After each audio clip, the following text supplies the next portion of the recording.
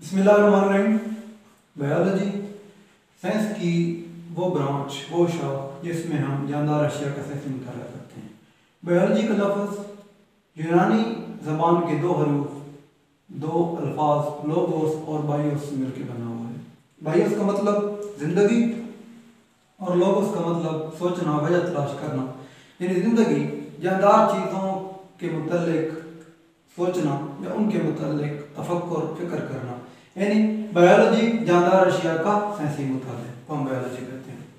دنیا میں جتنے بھی جاندار ہیں، ان کو، ان کا اگر ہم سائنسی مطالعہ کریں گے تو اس کو ہم بایولوجی کہیں گے۔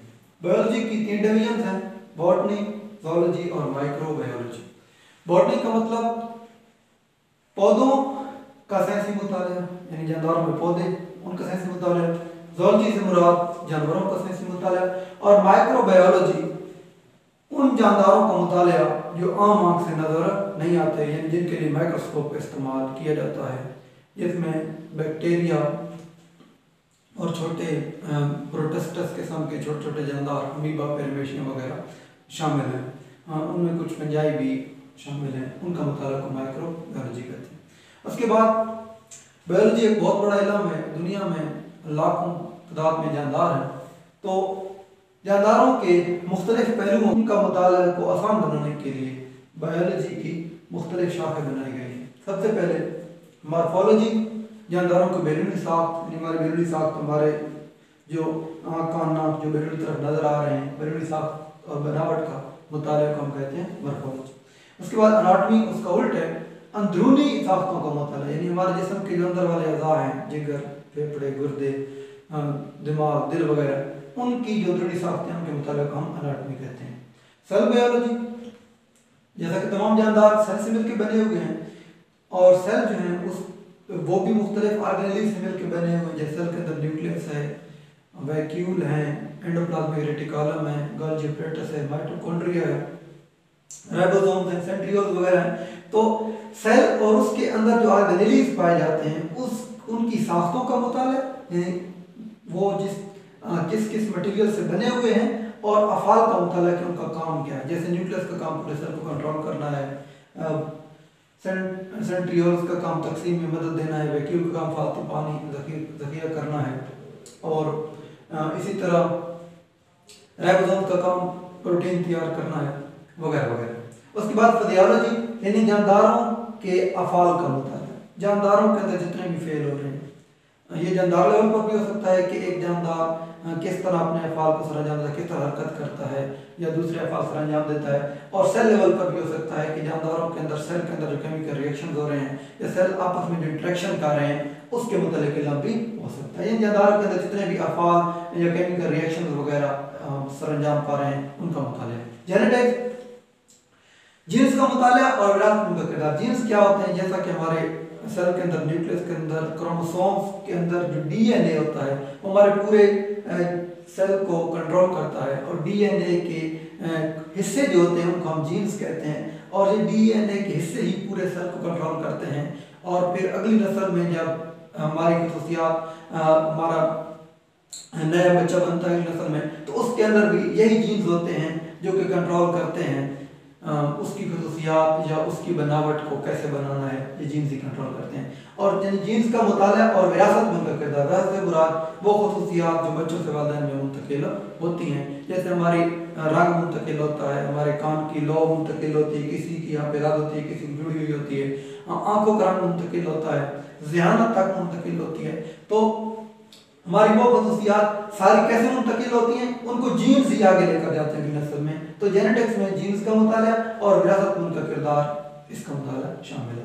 ایمبریولوجی ایمبریو سے مکمل جاندار بننے تک جو مختلف مراحل ڈیولپمنٹ کا مطالعہ۔ ایمبریو کیا ہوتا ہے؟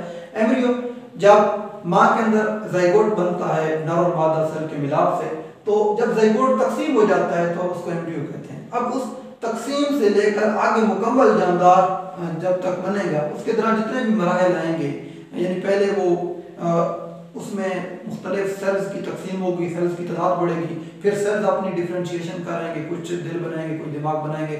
تو یہ جتنے بھی مراحل ہیں، ان کا مطالعہ۔ یہ جیسے چھوٹے جاندار و تتلیوں وغیرہ میں ہم دیکھتے ہیں کہ انڈے سے چھوٹا سا لاروا نکلتا ہے جو نیچے چل رہا ہوتا ہے، اور اس کے بعد پیپا بنتا ہے، خول میں وہ بند ہو جاتا ہے، اور پھر اس کے اندر سے تتلی نمودار ہوتی ہے۔ تو وہ جتنے بھی ڈیولپمنٹ کے مراحل ہیں، ان کے مطالعہ کو ہم ایمبریولوجی کہتے ہیں۔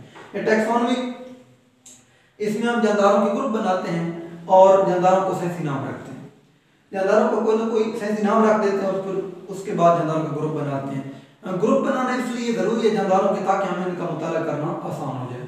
جیسے آپ مثال سے سمجھ لیں کہ اگر ایک کلاس میں پچاس لڑکے پڑھ رہے ہیں اور کوئی آپ، اگر آپ سے آ کر پوچھتا ہے کہ بچوں کی کیا پوزیشن ہے، تو آپ کہہ سکتے ہو کہ سر پچھلی جو لائن میں بیٹھے ہوئے تین چار لائنیں یہ بچے نلائق ہیں تھوڑے اور درمیان والے تھوڑے ایوریج ہیں اور آگے والے جو ہیں بریلینٹ یا لائق تو آپ نے تین کیٹیگریز میں پوری کلاس کی پوزیشن سمجھا دی۔ بچائے ایک ایک بچے کیا بتائیں کہ فلان لے کے، فلان لے کے، فلان لے کے، تو اس سے ان کے متعلق اگلے کو معلومات پہنچانا بھی مشکل ہے اور ہمارے لیے بیان کرنا بھی مشکل ہے۔ تو اس لیے جانداروں کا ہم گروپ بناتے ہیں تاکہ ان کا مطالعہ آسان ہو سکے کہ ایک ایسے جانداروں کو ہم ایک گروپ میں ڈال دیتے ہیں کہ ان کی یہ یہ خصوصیات ہیں، ان کی یہ یہ خصوصیات ہیں۔ جیسے آپ کو میملز ایسے جاندار جو بچے دیتے ہیں، بچوں کو دودھ پلاتے، بتائے جاتے ہیں اور پرندے اڑنے والے جاندار اور پانی اور خشکی دونوں پر رہنے والے جاندار ایمفیبینز وغیرہ، تو اس طریقے رینگنے والے جاندار اس طرح، تو یہ مختلف ہم گروپ بنا دیتے ہیں تاکہ بہت سارے جانداروں کا مطالعہ کرنا اکٹھا آسان ہو جائے۔ پہلی انٹالوجی فصل کا مطالعہ۔ فصل کیا ہوتے ہیں؟ جو جاندار آج سے لاکھوں کروڑوں سال پہلے مر چکے ہیں، ان کی باقیات جو ہمیں زمین کے اندر ملتی ہیں، ان باقیات کا مطالعہ کرتے ہیں۔ آپ یوں سمجھ لیں کہ ڈائنوسارس کے بارے میں بتایا جاتا ہے کہ وہ سے کئی ہزار سال پہلے موجود تھے، تو آج ان کے فوسلز ملتے ہیں، تو ان کے فوسل کے مطالعہ کو پیلیونٹولوجی کہتے ہیں۔ یعنی آج سے پہلے جو جاندار ناپید ہو چکے ہیں، جو جاندار باقی نہیں ہیں، ان کے فوسل جن کی ہڈیاں جو باقیات ہیں ان کا مطالعہ شامل ہے۔ اس کے بعد انوائرمنٹل بیولوجی ہے۔ جاندار اور ماحول کے درمیان جو تعلق ہے کہ جاندار ماحول کے ساتھ کس طرح انٹریکشن کرتا ہے، کیا چیز ماحول کو دیتا ہے، کیا چیز ماحول سے لیتا ہے، اس کا مطالعہ یعنی انوائرمنٹ کا مول انسان کے ساتھ کیا تعلق ہے کسی جاندار کے ساتھ کیا تعلق ہے اس کے بعد سوشیو بیولوجی، جو جاندار معاشرے بنا کر رہتے ہیں، جیسا آپ دیکھو گا، چمٹیاں جو ہیں وہ زمین کے اوپر اکٹھی رہتی ہیں۔ اکٹھی جو ہے وہ مل کر ایک دوسرے کے ساتھ خوراک کے بنانے میں مدد دیتی ہیں اور وہ جو اپنا ان کا بل ہوتا ہے، گھر ہوتا ہے، اس کے بنانے میں مدد دیتی ہیں۔ تو ان کے جو رویے ہیں، آپس میں کس طرح وہ مل کے رہتی ہیں انٹریکشن آپس میں کرتی ہیں، کس طرح خوراک میں دوسرے کی مدد کرتی ہیں، اس کے مطالعہ کو ہم سوشیو بیولوجی کہتے ہیں۔ اس بعد پیراسائٹولوجی پیراسائٹ سے لفظ نکلا ہے۔ پیراسائٹ وہ جاندار جو ہمارے جو کسی دوسرے جاندار کے ساتھ رہتے ہیں اور اس سے خوراک بھی حاصل کرتے ہیں، جگہ بھی حاصل کرتے ہیں بدلے میں انہیں نقصان پہنچاتے ہیں۔ جیسے انسان کے سر میں جوئیں اگر ہوں تو جوئیں جو ہیں وہ انسان سے اس کا خون بھی چوس رہی ہیں اور اس سے ریش بھی لے رہی ہیں، بدلے میں اس کو نقصان پہنچا رہی ہیں۔ یہ جیسے آپ نے جانداروں کے اندر دیکھو جو مختلف قسم کے چیچڑ پڑ جاتے ہیں، تو وہ چیچڑ جو ہوتے ہیں، وہ اس جاندار سے خوراک بھی لیتے ہیں، اس کو نقصان بھی پہنچاتے ہیں۔ تو پیراسائٹ وہ چھوٹے چھوٹے جاندار جو نقصان پہنچاتے ہیں دوسرے جاندار کو اور اسے خوراک اور ریش لیتے ہیں۔ تو اس میں پیراسائٹ کا مطالعہ جو، ان چھوٹے جانداروں کا مطالعہ جو ہوتا ہے، اس کو ہم پیراسائٹولوجی کہتے ہیں۔ بایو ٹیکنالوجی انسان کے فائدے کے لیے چھوٹے جانداروں کا مطالعہ یعنی چھوٹے جانداروں کا استعمال جیسے آج کل انسولین بنائی جاتی ہے بیکٹیریا کا استعمال کرتے ہیں بایو ٹیکنالوجی کے ذریعے، تو اس سے انسولین بناتے ہیں وہ جاندار جن اور وہ انسان جن کے جسم میں شوگر کو کنٹرول کرنے کے لیے انسولین نہیں ہوتی، ان کا انسولین بنا کر دیتے ہیں اور اسے ان کا زندہ رہنا ممکن بن جاتا ہے۔ اس کے بعد امیونولوجی ہے۔ جب بھی کوئی نقصان دہ جراثیم ہمارے جسم میں داخل ہوتا ہے، تو ہمارا جسم کے جو خون کے اندر جو وائٹ بلڈ سیلز ہیں، وہ اس کے خلاف جو ہے وہ دفاع کا کام کرتے ہیں، جسم کو اس سے بچاتے ہیں۔ تو امیونولوجی میں ہم امیون سسٹم کا مطالعہ کرتے ہیں، ہمارے جسم کے اندر جو دفاعی نظام ہے، اس کا مطالعہ کرتے ہیں۔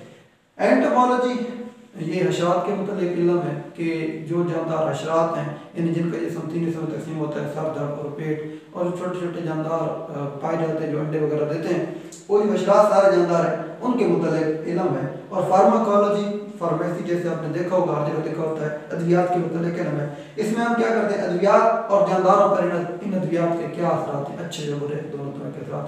اس طرح فارماکالوجی میں ادویات اور انسان جانداروں کے اوپر ان کے کیا کیا اثرات ہیں، اس کا مطالعہ کرتے ہیں۔ تو یہ ساری بیولوجی کی شاخیں جو آج ہم نے پڑھی ہیں، یہ سب بیولوجی اتنا بڑا علم ہے کہ اس کو ہم نے چھوٹی چھوٹی جو ہے وہ شاخیں بنا لی ہیں تاکہ ہمیں مختلف جو ہے وہ بیولوجی کے مختلف پہلوؤں کے لحاظ سے مطالعہ کرنا آسان ہو جائے۔ تو انشاءاللہ نیکسٹ لیکچر میں ہم بیولوجی کی شاخوں کے بعد بیولوجی کا آپس میں مختلف علوم کے ساتھ، فزکس کا کے ساتھ، ریاضی کے ساتھ جیوگرافی کے ساتھ، کیمسٹری کے ساتھ، بیولوجی کا کیا تعلق ہے؟ اس تعلق کو تفصیل کے ساتھ دیکھیں گے۔ ہاں شکریہ، السلام علیکم۔